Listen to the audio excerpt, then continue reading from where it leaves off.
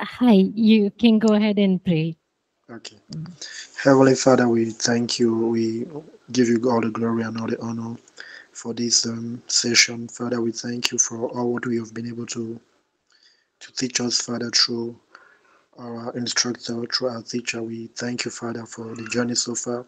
We even commit this session into your hands and we trust, oh Lord, that you grant us understanding. We ask all this in the name of your precious Son, our Lord and Savior, Jesus Christ. Amen.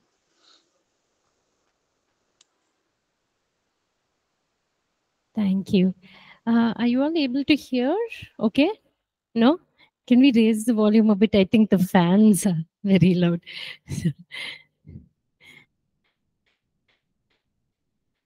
okay, thank you.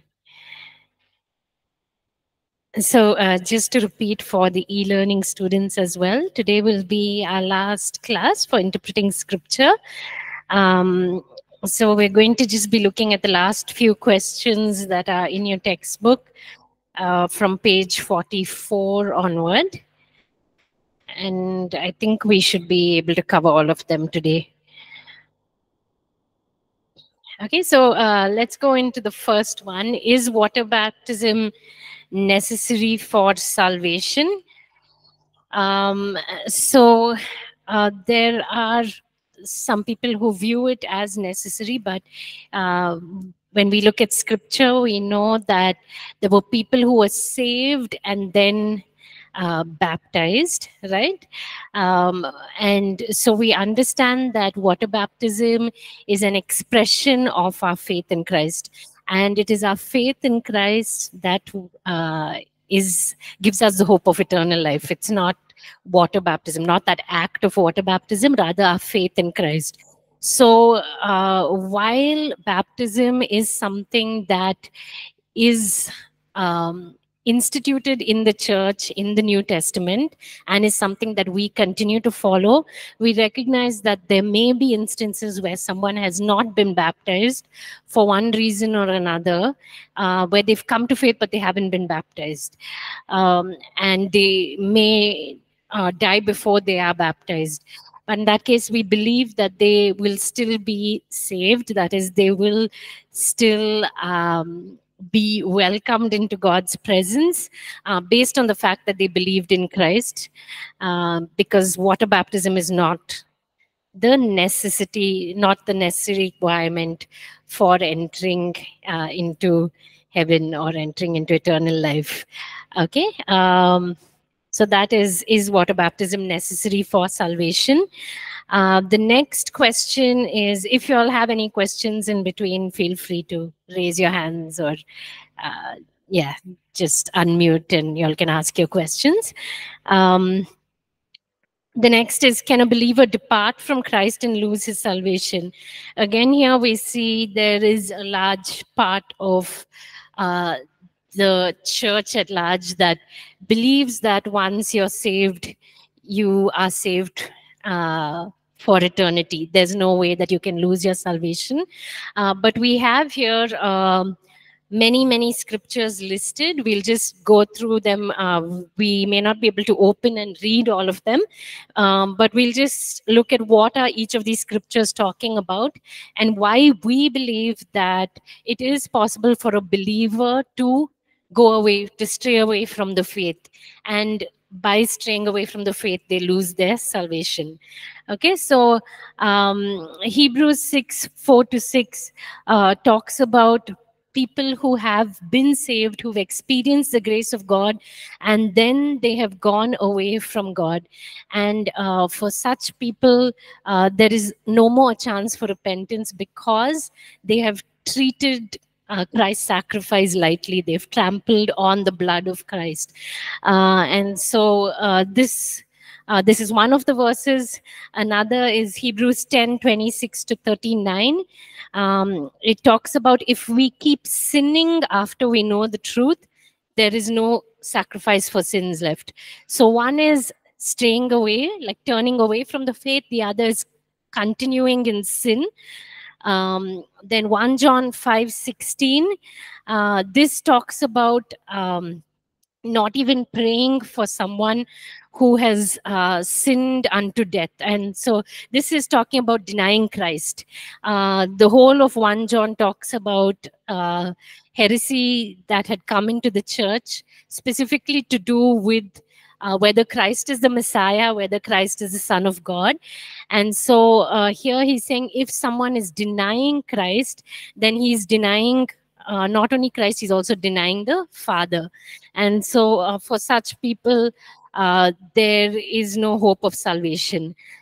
Um, 1 Timothy, we have a few verses listed here talking about people who've strayed away from the faith.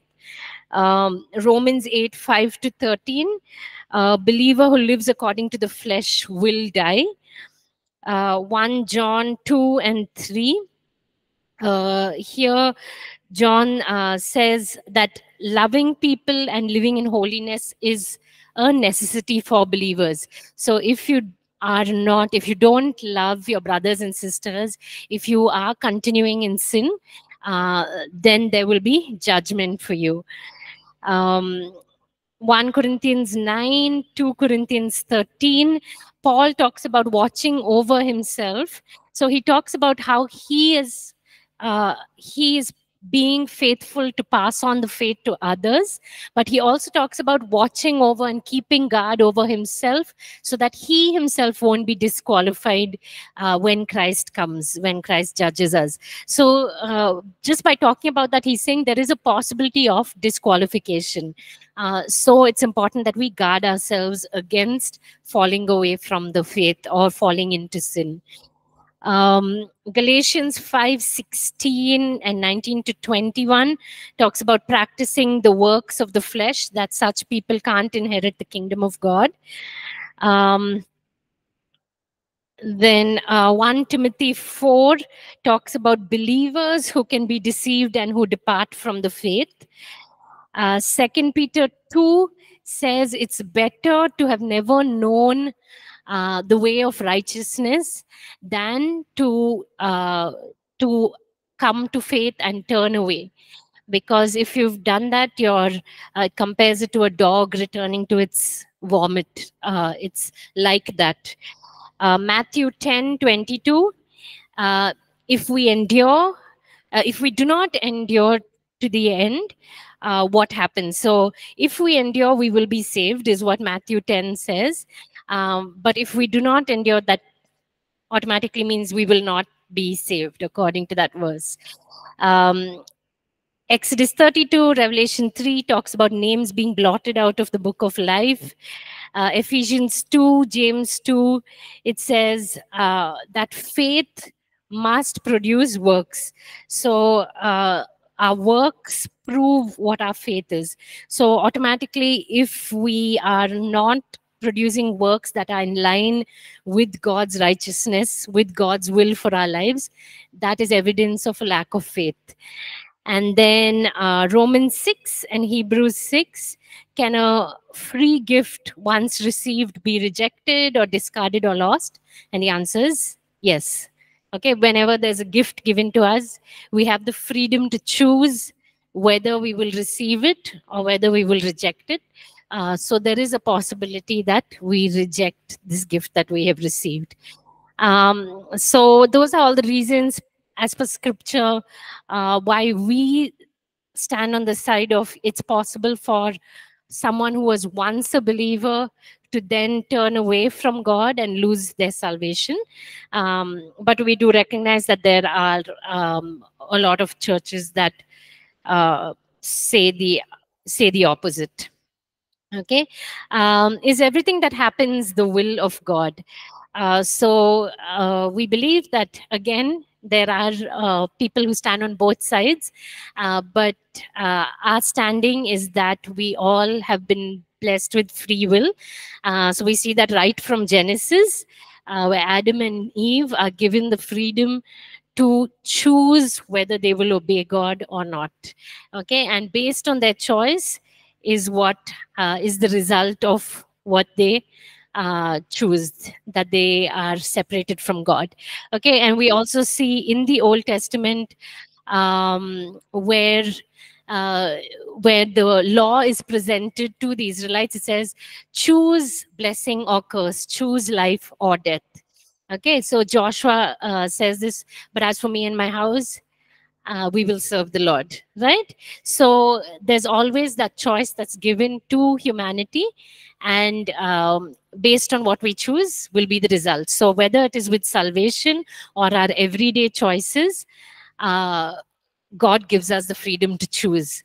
Now, in spite of our choices, God works out his overall plans and purposes. So, God has an overall plan and purpose that he has in mind, right? His plans are not going to be changed based on the decisions that we make. He will work those plans out uh, that are separate from what choices we make. Okay, so that's our standing. Um, there is a question on chat. Um, what if a believer has gone away from Jesus because of depression or a tough situation, and in the end they died without peace and joy of Christ? Will they go to heaven or not? Um, so, uh, when, when it comes to judgment, it definitely we leave it to God to make that decision uh, because God knows uh, see if we're talking about depression it is a mental illness and it's something that that person didn't have uh, control over i don't like if they're getting medical help those kinds of things um, so there are people who commit suicide who go into depression commit suicide um, they may have been believers even uh, but it's but they did that in that moment. So that's a different thing.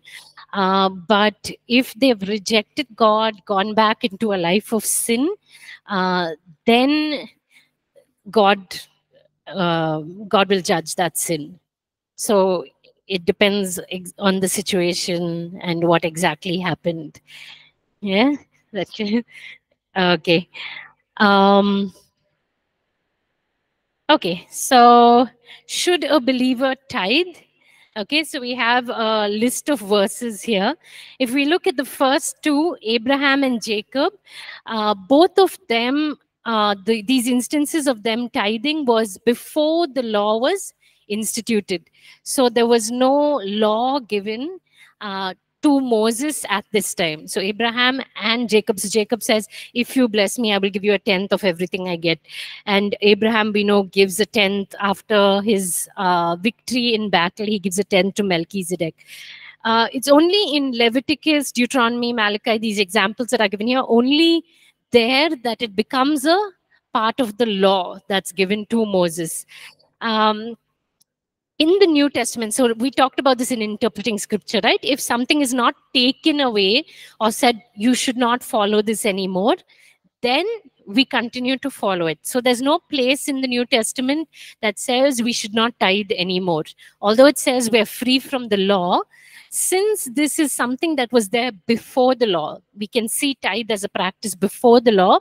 Uh, we understand that it's not something that we should stop doing. And also we see Matthew 23, 23 and Hebrews 7, 1 to 10 examples of tithing continues. So let's just check, uh, read those two verses, Matthew 23, 23 and Hebrews 7, 1 to 10.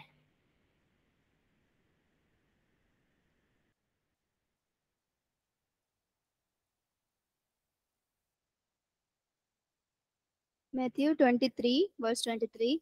Woe to you, scribes and Pharisees, hypocrites, for you pay tithe of mint and anise and cumin, and have neglected the weightier matters of the law, justice and mercy and faith.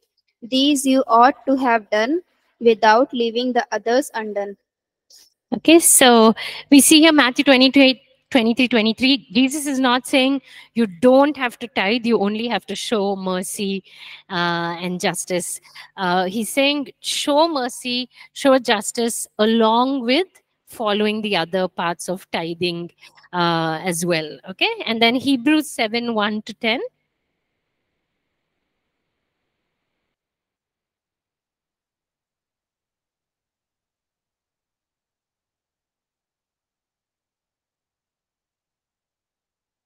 Hebrews 7, verses 1 to 10. For this Melchizedek, king of Salem, priest of the Most High God, who met Abraham returning from the slaughter of the kings and blessed him, to whom also Abraham gave a tenth part of all, first being translated king of righteousness, and then also king of Salem, meaning king of peace, without father, without mother, without genealogy, having neither beginning of days nor end of life, but like the Son of God, remains a priest conti- continually. From verse 4 Now consider how great this man was, to whom even the patriarch Abraham gave a tenth of the spoils. And indeed, those who are the sons of Levi, who receive the priesthood, have a commandment to receive tithes from the people according to the law, that is, from their brethren, though they have come from the loins of Abraham, but he whose genealogy is not derived from them received tithes from Abraham and blessed him who had the promises. Now, beyond all contradiction, the lesser is blessed by the better. Here, mortal men receive tithes, but there he receives them of whom it is witnessed that he lives. Even Levi, who receives tithes, paid tithes through Abraham, so to speak, for he was still in the loins of his father when Melchizedek met him. Okay, thank you. So here we see um, Melchizedek being presented as a uh, type of Christ, right?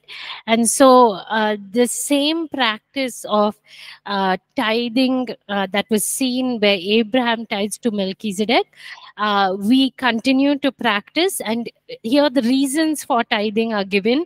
It is to be given uh, for the work of uh, the priesthood, right? So it's given to the Levites, uh, it is given to the priest to carry on their work of ministry.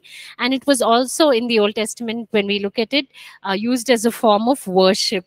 So, because it was used in these ways, uh, the verses are given here in your notes Numbers 18 28 and Nehemiah 10 37 to 38 uh, as an expression of worship and to support the ministry of the uh, of the temple.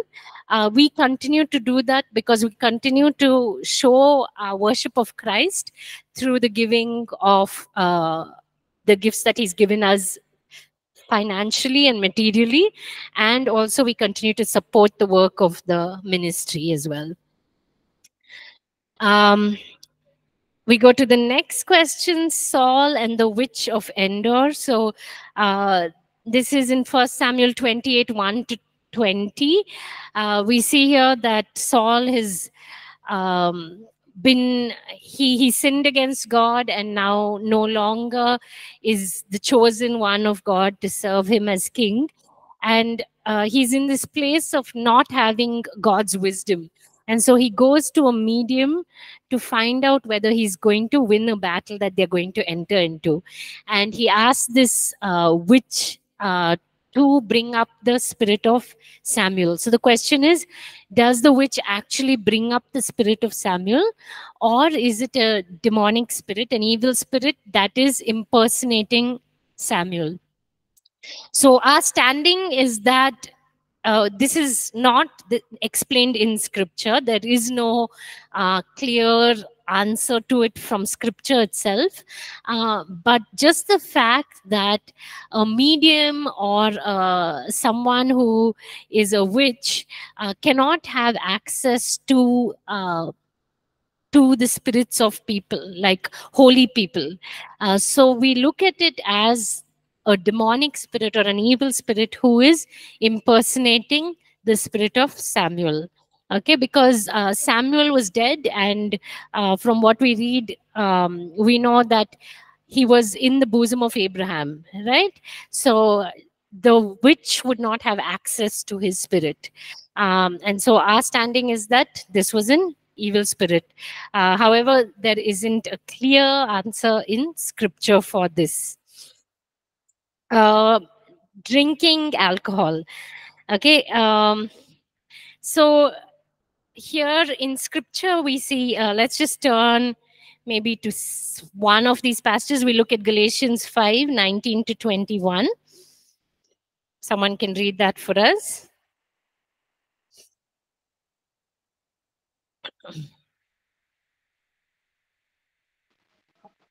Galatians 19 to 21 sister? Yes 5 19 to 21 now the works of the flesh are evident, which are adultery, fornication, uncleanliness, lewdness, idolatry, sorcery, hatred, contentions, jealousies, outbursts of wrath, selfish ambitions, dissensions, heresies, envy, murder, drunkenness, rivalries, and the like of which I tell you beforehand, just as I also told you in time past, that those who practice such things will not inherit the kingdom of God. Thank you. Uh, so we see uh, in this example from Galatians 5:21 drunkenness mentioned. And if we look at other examples in scripture it's usually talking about drunkenness. It's not talking about drinking small quantities of wine. Uh, so uh, there are people there are even church leaders uh, in some cultures who will drink um, as a part of their culture or who will drink a little socially uh, and it's acceptable because it's not really talked about in scripture as a sin if you drink a little. Uh, the sin is if you get drunk. Um, so that is the difference what is a sin and what is not a sin. Uh, on the other hand our stand as a church uh, is to avoid it completely because you uh, can very easily fall into the onto the side of being drunk at some point right? Uh, so to draw that line you are yourself kind of playing with that line uh, where you may at some point cross over so it's better to stay away from it completely from that uh, regard. And also uh, if we look at first corinthians 6 first corinthians 10 it talks about doing things that are really beneficial.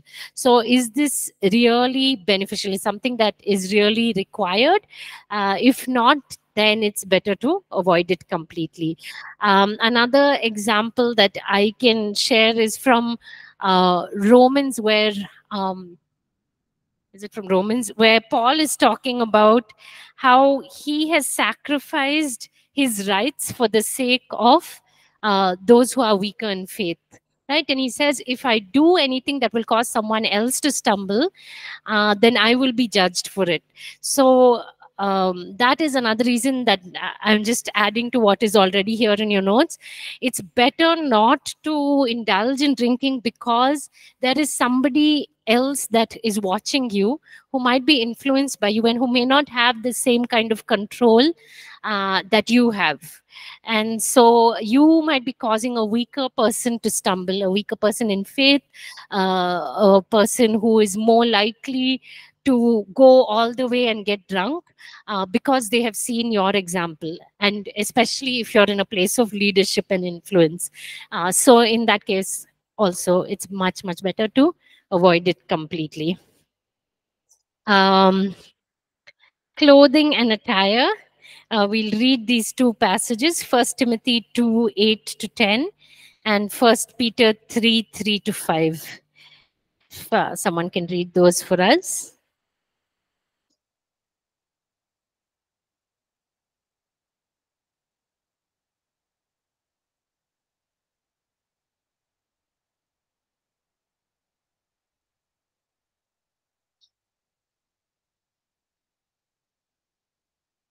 First, First Timothy 2, 9 and 10, sister. Uh, yeah, and 2, 8 to 10. 2, 8. I desire, therefore, that the men pray everywhere, lifting up holy hands without wrath and doubting. In like manner also, that the women adorn themselves in modest apparel, with pro- propriety and moderation, not with braided hair or gold or pearls or costly clothing, but which is proper for women, professing godliness with good works. Thank you. And uh, First Peter 3, 3 to 5. Uh, First Peter 3 3 to 5. Do not let your adornment be merely outward, arranging the hair, wearing gold, or putting on fine apparel. Uh, rather, let it be the hidden person of the heart, with the incorruptible beauty of a gentle and quiet spirit, which is very precious in the sight of God. Thank you. Uh, you can go on till verse 5. Okay, sister. For in this manner, in former times, the holy women who trusted in God also adorned themselves, being submissive to their own husbands. As Sarah obeyed Abraham, calling him Lord, whose daughters you are, if you do good and are not afraid with any terror. Okay, so um, there are some people who believe that you shouldn't wear any, women should not wear any jewelry or any makeup. Um, and sometimes these verses are used in support of that view. Um, but if we look here, um, it's saying uh, in uh, 2 Timothy 2 9, uh, don't dress yourselves. Uh, uh, dress yourselves modestly with propriety and moderation so don't be consumed with dressing up okay? Um, and then first peter 3 5 says let it not be a merely outward thing. So merely outward means don't be so focused on what is on the outside that you ignore what is on the inside. So uh, it's important that the heart condition is the focus and what you do on the outside becomes not as important is not something that you are focusing on. But if we look at the old testament we can see that uh, there are examples here genesis 24 22 and 53 this is where um, isaac meets uh, his wife and he carries gifts isaac and rebecca and he carries gifts for her and it's all jewelry. So we know that they were wearing jewelry. So even though in these New Testament examples in First Peter, he's talking about these women from the Old Testament, he's not talking about the fact that they didn't wear jewelry. He's talking about the attitude of their hearts. Uh, so in the same way, we uh, say focus on your inner person and allow your clothes and all of that to become of less important focus. It doesn't mean you shouldn't wear jewelry, you shouldn't dress up. Uh, that's not the point of the verses. The point of the verses focus on the heart. Okay. Um, and that rule becomes equally important for the people on the other side who are judging outward appearances that they shouldn't be judging what they're seeing on the outside uh, what is important is what is in the person's heart okay um, with that we also encourage modesty and um, yeah dressing up in a way that is appropriate. Uh, so we have i think the last two questions. Anything anyone wants to bring up based on what we've discussed so far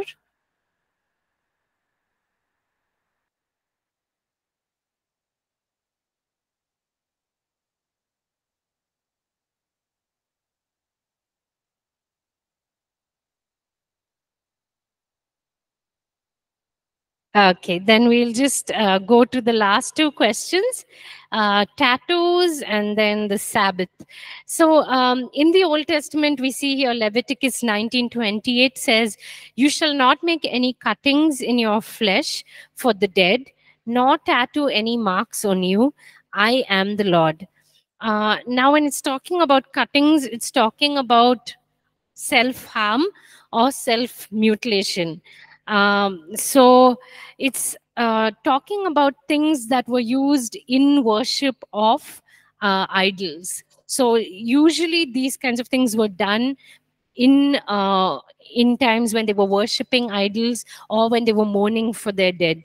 Uh, so in that case, uh, or in because of that was the cultural practice, God is saying, don't follow the practices of these people because this is what it is linked to. Uh, in present day, we don't see tattoos the same way. Uh, it's not done as a form of worship. In fact, there are many believers who uh, use tattoos to kind of profess their faith in Christ. And so uh, we don't judge and say because they've done this, they're going to hell or they have sinned. Uh, because here, when we see this rule of don't place a tattoo on your body, it is linked to what was the cultural practice of that day, which doesn't exist today.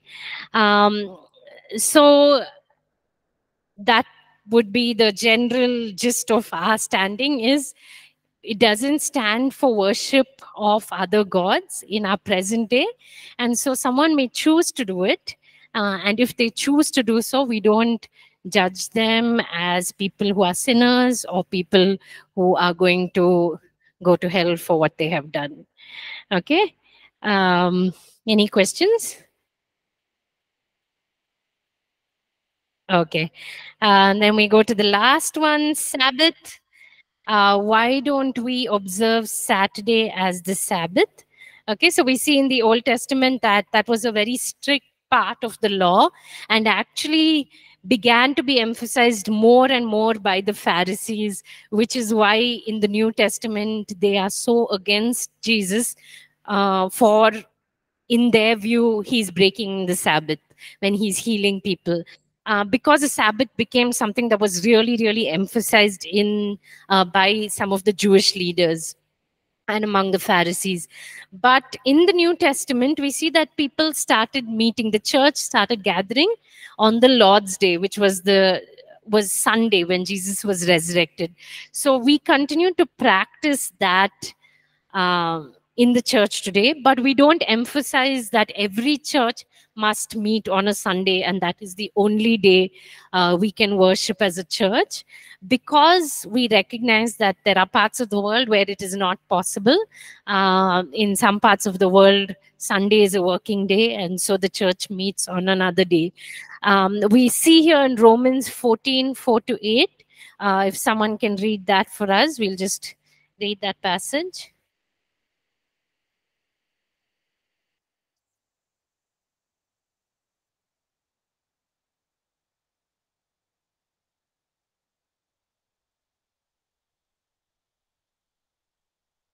Romans 14, 4 to 8. Romans chapter 14, verses, verse 4. Who are you to judge another servant to his own master? He stands or, or falls. Indeed, he will be made to stand, for God is able to make him stand. Verse 5. One person esteems one day above another, another esteems every day alike. Let each be fully convinced in his own mind. Verse 6 he who observes the day, observe it to the Lord, and he who does not observe the day to the Lord, he does not observe it. He who eats, eats the Lord, for he gives God, gives God thanks.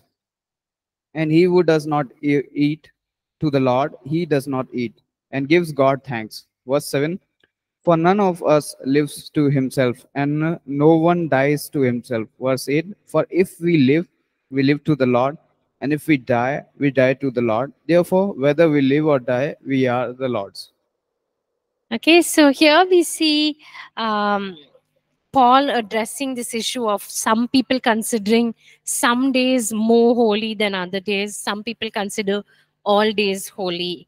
Uh, so uh, we likewise take that stand that all days are holy, whether we live uh, or whether we die, whatever it is, everything is as, as unto the Lord. And so, um, so whether we choose to worship on a Saturday or a Sunday or any other day, uh, the point is that we are worshiping the Lord, uh, that we are gathering as believers, uh, and that we are continuing to fellowship, continuing uh, to do the works of the church. So that's the um, that's the reason why we don't focus on Sabbaths being on the Saturday. Um, because in the New Testament, clearly, we see that that is changed. Okay, so like we talked about, if we see something from the Old Testament that is clearly um, removed in the in the New Testament, then we will follow whatever the New Testament or later Revelation has taught about it. Um, there's a question here. What about marriage rituals, which were followed by our forefathers, like Toe rings? Um, so um, uh, Sister Lucy has mentioned, uh, has asked this question. Uh, I think, uh, Sister, the main thing is what is the significance of these things? Um, like we see in uh, that Old Testament, like uh, we talked about the example of Isaac and Rebecca, there was the practice of in getting married that he, they gifted all of this gold, all of this jewelry to the bride. And that was something that was done that was not in any way considered as wrong um, or something that God said should not be followed. Uh, so, in the same way, we uh, look at that in our context as well. Uh, if jewelry is a way of celebrating that covenant that we are entering into, then it's absolutely fine uh, to to express to wear those things to show that we are married right? So um, like we read in first corinthians as well the practice of covering their head. So it was a practice in that culture that that's how they showed that they were married. So in our culture if it is you wear toe rings to show that you are married then it's completely fine to follow the culture uh, to be able to express uh, whatever you need to express through that uh, as it, there's no rule against it in scripture. Is that Yes, sister. Uh, what about uh, they do this uh, in bride making about applying turmeric, those things? Can we participate in such things? Haldi, Uh, haldi, they say, right? applying turmeric before the wedding day Yeah, is it yeah, before the wedding and all. yeah all of those things i think um it um my understanding of it is it's just a way of preparing the bride for the or even the bridegroom uh, for the wedding day right? It's a process of beautification of the family gathering and celebrating and um, being part of what is going to happen on the day of the wedding. So there's nothing uh, that is related to worship of some other god or uh, turning away from our own faith. Uh, so there's no reason why we shouldn't practice it. Yes, yes. Because some communities they are uh, against uh, doing all such things. They feel it's something like a open doors for something. Uh, some they uh, they're against it because it's some oh, like opening doors for the evil things. okay yeah i don't see it that way because it's not related to worship of any god right Unless unless it has been dedicated also. Yeah the whole thing is just more of a process of beautification then we should say that we cannot go to beauty salons we cannot cut our hair we cannot uh, do any of those things we shouldn't shave we shouldn't all of these things are ways of us just uh, taking care of our own bodies, uh, taking care of the things that God has given us. And there are special things done in relation to getting married. So that turmeric, uh, the practice of that is related to the wedding day. Um, it's not related to worship in any way of any other god. So um, I wouldn't say that there's anything wrong with it. Okay, sister. Thank you. Thank you. Uh, Indel, you can go ahead. Yes.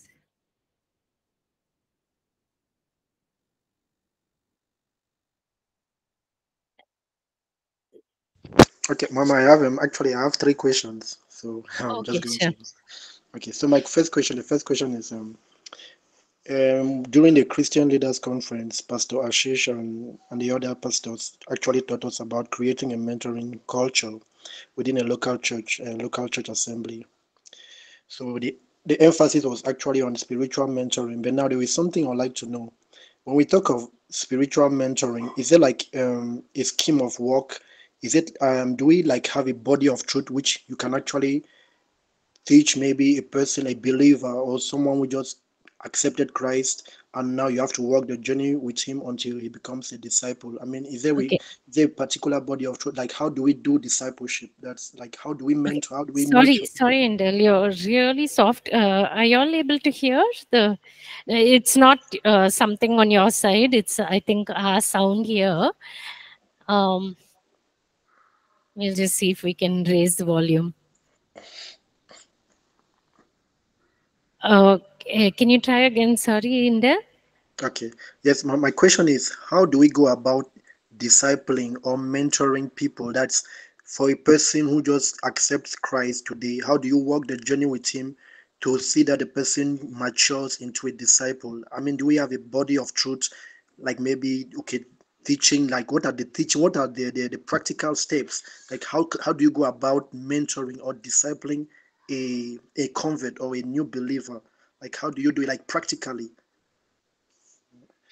Um, so uh, actually, I think uh, while we were doing the in our other class, the New Testament survey, we saw that Mark, uh, the book of Mark, actually had some really good um, practices that um, we can adopt in our churches for discipleship. Uh, one of the major things is having a mentor uh, who is committed to mentoring the new believer. So having one person who uh, is investing, who is following up, uh, who is guiding that new believer. Um, the second thing is also having uh, what's helpful from a church perspective is having a set of teachings that you want to pass on to new believers. So that is something that we do as a church. Uh, when someone comes to faith they receive um, a package with uh, different uh, basics of the christian faith and so um, there is someone who can go through that with them if they choose to do that with a mentor. Uh, so that's another thing having um, and these resources like we have uh, the foundations book on our website which is for new believers. Um, having something like that that you can go through with uh, the new believer just on the basics of the christian faith. Uh, that is another thing uh, that you can do. Um, the other thing would be just to meet regularly with the person uh, to meet with them answer their questions uh, help them through things that they are struggling with uh, if they uh, have any personal struggles uh, being able to pray with them being able to encourage them uh, so having just that kind of relationship. But also then um, connecting them to the body of believers. So the mentor plays a very important role. But if we look at how Jesus discipled his 12, it wasn't just Jesus and the disciple, right? It was the 12 disciples with Jesus. So there was that relationship that they shared with each other and the relationship that they shared with Jesus himself. Um, so having that as well, where they are connected to the rest of the body. So they're uh, coming for the worship services. They uh, are part of some kind of cell group uh, where they are growing with other believers and have other people also speaking into their lives. Um, those are uh, three things and then also teaching them to be able to uh, to study the bible to pray by themselves uh, so that they are uh, spending that time by themselves growing in faith as well um, does that answer your question Okay, it does now. Okay, second Okay. question. Okay, my second question is um, for those who are called like into Christian ministry, um, you know that okay, you have to you have to begin a new work, but now you don't have the finances to actually eh, get a church a church running. Like you don't have the finances to maybe rent um, a, a building and get started. So how do you go? Like what does what are the alternatives? What actually can you do in such a situation? um, one way uh, so it depends on uh, what you sense god is calling you to do has he called you to completely give up your present work and uh, only focus on the ministry if that is the case um, then it would be to start small so don't immediately look at we need to have a church building we need to have all of this stuff uh, we, what can you do that is uh, free and easily accessible. Can you use somebody's house? Um, so we see in the New Testament that that was the practice, right? Somebody they were meeting in people's houses. Uh, so doing things like that that won't require um, uh, won't require a lot of finances. If you um, feel that okay there isn't that kind of um, you don't feel that god has said give up your work completely then look at possibilities of starting your ministry alongside your work and then slowly transitioning to full-time ministry and uh, giving up your work if you feel at some point that okay now's the time to make that full switch. Uh, because like you said you may not have uh, you may not have people tithing you may not have people uh, supporting the work right from the start. And so you have to also be practical and look at what is the possibility of doing this without getting to a point where you and your family uh, are not able to continue the work because of a lack of finances Thank you very much, ma'am. And now the last question is um, Okay. um there's this um this approach which I um we are trying to like when it comes to evangelism because we have this always we have just this one particular way of way um, of evangelizing. Now, um, I'm from Cameroon. Cameroon actually it's um it's a very diversified nation. We have Muslims and we have Christians. So now, what is the approach? Like, what kind of approach can we adopt to evangelize or to actually witness to a Muslim? Because some of them they really play very tough. They are very very tough. You, it's difficult for you to to walk up to them and actually engage them in a conversation because they are very very close. So I don't know if you can like maybe give a tip or some an advice. Uh, my first advice would be to start with a lot of prayer. Um, so our uh, contexts uh, can be so different, right? So I could be ministering to Muslims in India, uh, which would look completely different from uh, the context that you are ministering to, although you're still ministering to Muslims uh, in Cameroon. So uh, really, it has to be God uh, opening doors, uh, God giving you divine strategies um, for the context that you're in. Um, there may not be a step like one to three steps you can follow, um, and it's all going to work. Um, so definitely the first thing is start with prayer. Uh, the second is uh, look at uh, what it is, what are the questions that people are asking, and what is um, what would be an effective open door to start to have conversations about faith. Uh, is it like we see in the in the New Testament that preaching on the streets or um, just going to the marketplace was something that they could do. It may not be so in our context. Uh, so, what uh, are other ways that we can uh, have these conversations? Is it in the context of friendships? Is there uh, places that uh, we can find where we can start having conversations of faith? How can we build relationships with people? Um, we do a lot of um, this is like with police permission uh, here where we can go distribute things on the street. Uh, so if that is a possibility, distributing pamphlets, distributing free books, um, and then in, in the process of doing that, starting conversations with people.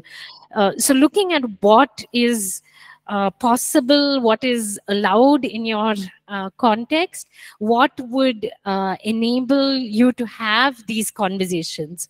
Um, and then trying trying them out um, but it has to like be grounded in prayer uh, starting with prayer and continuing with prayer uh, throughout really relying on god to give us um, strategies for how to do it in our context Okay. Thank you so much, ma'am. thank you um, okay so we have come to the end of our class. If you had any questions that you needed to ask that maybe we didn't address, um, please feel free to post on Google Classroom and we can have it there. And for e-learning students, you can post on the e-learning platform. I know that uh, that you all have been doing that. Um, I also needed to still post, I, I had mentioned that I would post something on Google Classroom uh, regarding one of the questions that we talked about last week. Um, so I'll do that today. Um, also, I, I will try and post this exam for this class this week um, as soon as possible so that you all can finish it off and then focus on New Testament survey next week. Uh, so just be on the lookout. I'll um, I'll post it as soon as I can sometime this week and maybe give you all till the end of next Monday uh, to finish it. Okay. Thank you all. It's been a good semester with you all. Uh, God bless you and have a good uh, break. We'll come back for New Testament survey after this. Thank you, sister. Thank you.